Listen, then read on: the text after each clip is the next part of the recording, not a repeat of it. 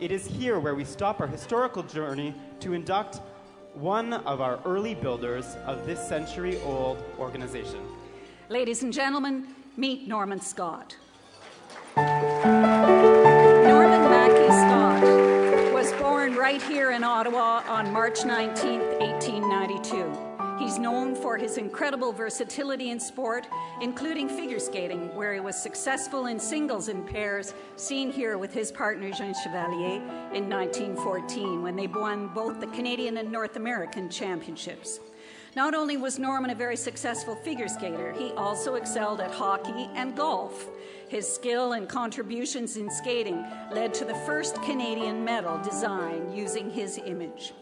His skating career led him into officiating, where he would become the first Canadian judge appointed to the ISU, and in 1932 he judged the World Figure Skating Championships in Montreal, the first World Championships to be hosted by Canada his competitive record in skating, his significant athletic versatility, his honest participation in officiating all contribute to Norman Scott's induction.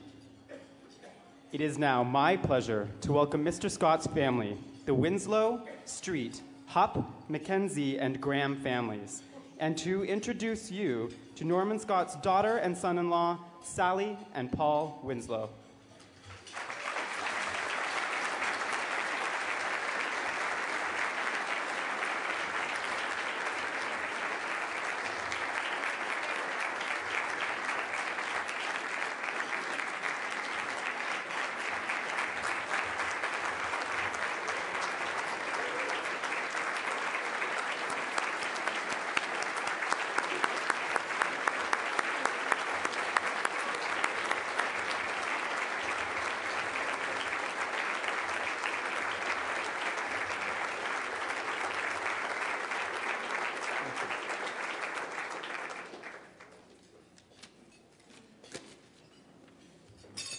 Good evening, everyone.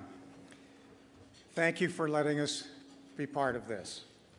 Our thanks to Skate Canada and to the Hall of Fame Committee for honoring Norman Scott this evening.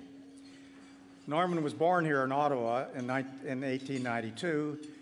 He studied at Lisgar Collegiate. He played junior hockey for Coopers and Ottawa Cliffsides, who then won the Allan Cup. He was age 16 at the time. Scott became known as a strong skater with a fluid style. Graduating from Lisgar in 1910, he enrolled at McGill University where he studied electrical engineering and played intercollegiate hockey. As a freshman, McGill won the intercollegiate championship that year. From 1910 to 1914, when World War I began, he continued playing college hockey and encouraged by the Minto Skating Club in Ottawa, he worked on figure skating in the summers, he sharpened his golfing skills. 100 years ago, in 1913, he was runner up in the men's singles figure skating championships of Canada. And he was runner up for the men's championship at the Royal Ottawa uh, Golf Club. In 1914, it was an extraordinary year for Norman. He and his partner, Jean Chevalier, won the figure skating pairs championship of Canada and of the United States. He also won the men's singles championship of both countries. Norman set a record that has never been broken.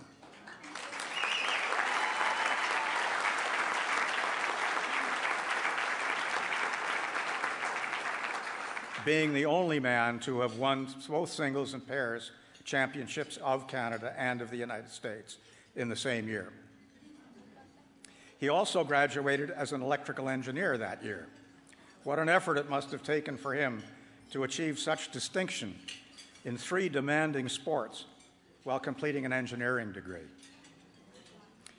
During World War I, Mr. Scott served with the Canadian Army Engineers in France.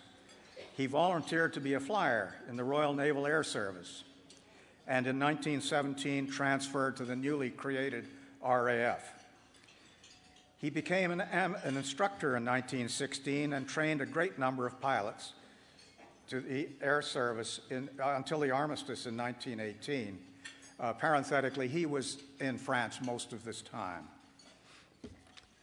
In 1920, he won the singles and fours in the first Canadian Figure Skating Championship held after the war.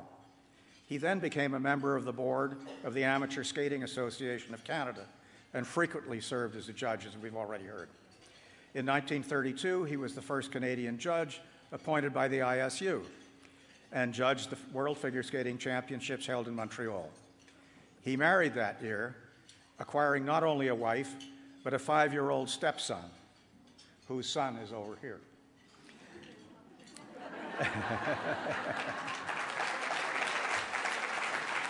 so he acquired that year not only a wife, but that five year old stepson, and on Christmas Day 1933, his daughter Sally was born, and she's been my wife for 58 years.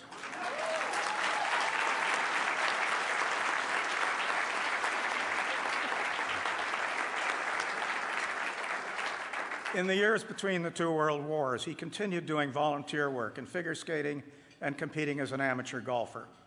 He played in Canada, the US, and Britain, captained a number of teams, and won many competitions. He was an active cross country skier. On many weekends, he and other volunteers took the train from Montreal up to the Laurentian Mountains near Saint Adèle, Saint Agathe, Saint Jovite, and uh, they would cut trails ski- for skiing that are still used today. He developed an interest in art and fell in love with the scenery in, in the lower St. Lawrence region around Baie St. Paul, where he and several artist friends made annual trips to paint local scenery. He won his first, final club championship at Royal Montreal in 1938. That was six championships he won at that club, having competed at a high level in three sports for 30 years. In World War II, Norman was overage for active service, but he did volunteer work helping the U.S. Navy office in Montreal develop Canadian suppliers. Norman kept in touch with his RAF friends from the First World War. Returning to Canada early in 1919, he brought home a bottle of fine brandy. Probably not the only one to do so. uh, he and his friends decided that they would drink a toast to the departed whenever one of them died. On each occasion, normally, Norman carefully recorked the bottle, which he was afraid would uh, be allowed to evaporate, uh, using wax to seal the aging cork. When he died in 1981 at age 90, he was the last of his line. After his funeral, we opened the 60 year old bottle for the last time and drank a final toast to an extraordinary man.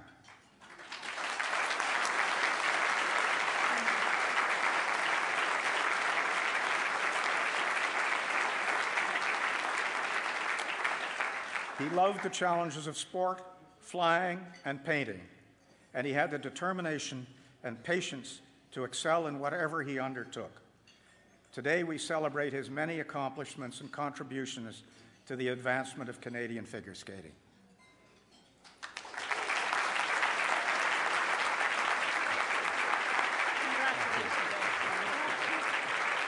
Now I'm going to invite up uh, Anne Shaw and Benoit. Okay. If you'd like to just move over maybe to the podium.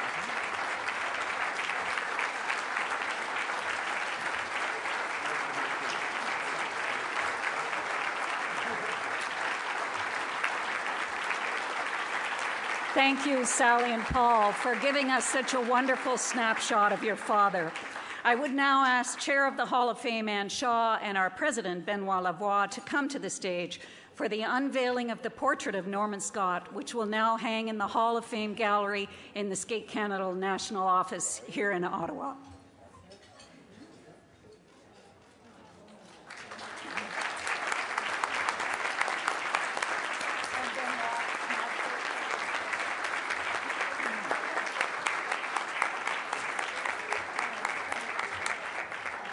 So well deserved.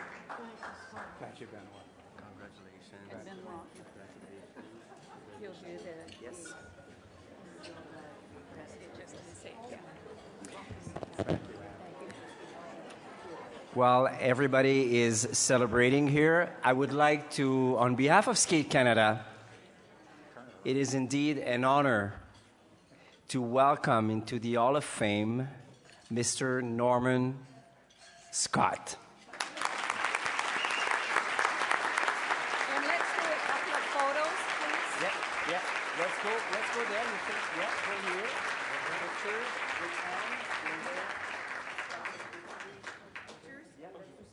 Here with the portrait.